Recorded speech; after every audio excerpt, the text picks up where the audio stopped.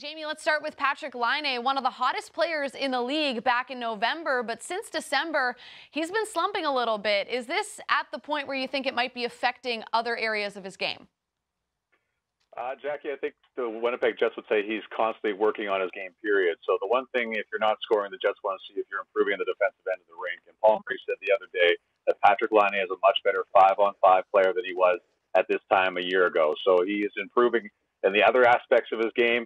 Uh, a good example of this is um, Wednesday when the team was departing for St. Paul. He was one of seven players on the ice, constantly out there trying to get better.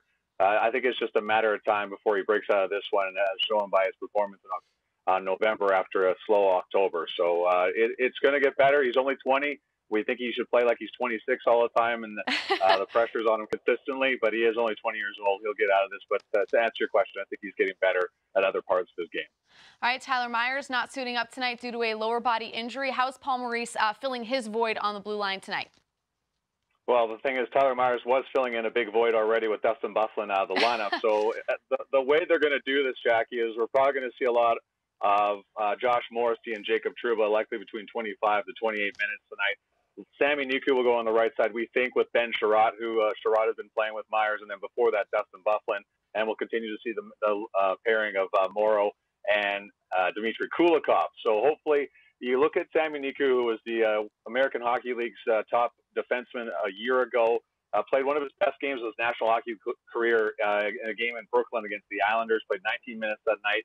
Uh, hasn't had a whole lot of time in the National Hockey League, but he's been watching a lot from the uh, press box while he's been up with the Jets this time around. So we'll see if uh, it works out for him. But the Jets have a lot of depth in the organization. They've survived injuries like this before, and uh, looking to do that again starting tonight without Tyler Myers. I mentioned off the top, second half of a back-to-back for the Jets tonight. Laurent Brossoit getting the start between the pipes, mm-hmm. and he's been great this season in limited action. How has he been able to perform without much playing time? Yeah, well, in his time in the National Hockey League, Jackie, he is he's been a backup, so he's used to this playing three to four times a month. Uh, already has eight wins, which equals the total of all the uh, Winnipeg Jets backup goaltenders in 2017, 2018. The one thing with Laurent Brossoit is he's a high, highly competitive individual, and he does that in practice. The players have loved his competitiveness.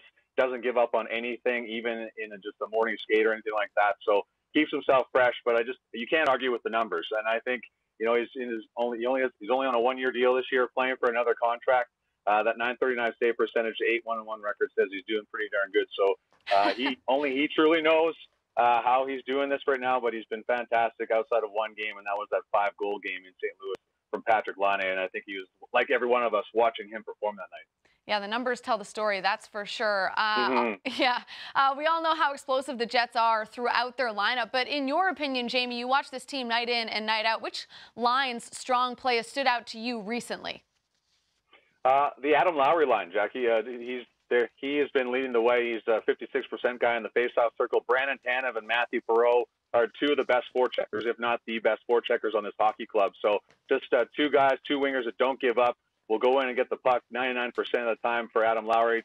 Body, you know, each player challenges one another physically. Uh, you know, one guy gets a hit, another guy is going to want to get a hit, and this lineup, uh, this line, uh, goes up against the other team's best if they're a bigger and physical, uh, bigger and phys- more physical group of players. So uh, they've they've been tremendous consistently throughout this year. And uh, hopefully that continues down the path here as Patrick Laine and the Bryan Little line tries to get on track offensively. All right, the Jets playing host to the Detroit Red Wings in the Peg tonight. Enjoy the game, Jamie, and thanks as always for this. Thanks, Jackie. Have a good weekend.